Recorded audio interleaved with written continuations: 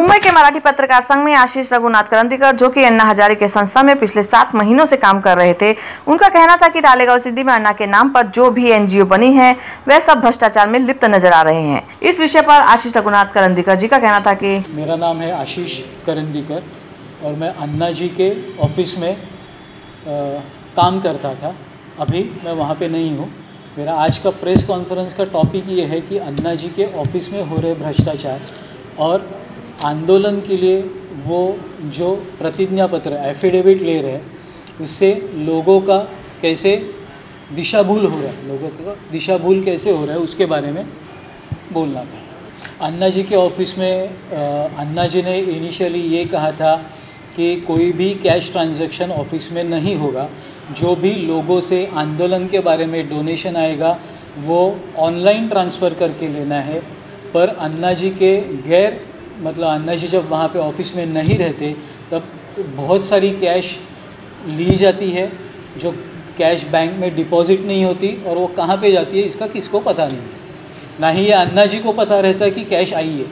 जी, प्रतिज्ञा पत्र जो लिया जा रहा है एफिडेविट जो लिया जा रहा है, वो इस तरीके से लिया जा रहा है कि आंदोलन में जो शामिल हो रहे हैं, वो इसके बाद अन्ना जी के अन्ना जी से जुड़ने के बाद, इसके बाद में किसी भी राजनीतिक पार्टी या पक्ष में नहीं जाएँगे, ऐसे करके एफिडेविट लिया जा रहा है।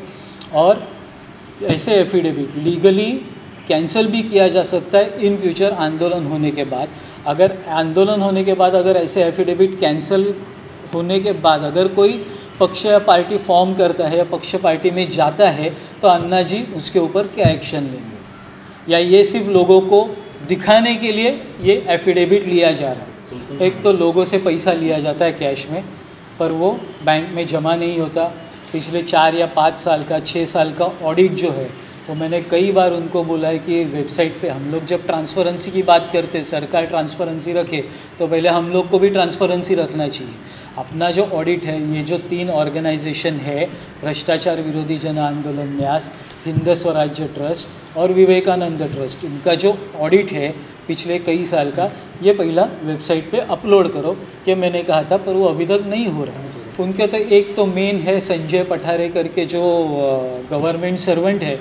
फिर भी वो अन्ना जी का पीए एज अ काम देख रहे अभी फ़िलहाल गवर्नमेंट सर्वेंट होने के बावजूद। तो वो एक मेन शख्स है इसके पीछे। कैमरामैन वैभव के साथ Vikram Singh Pundi S TV news Mumbai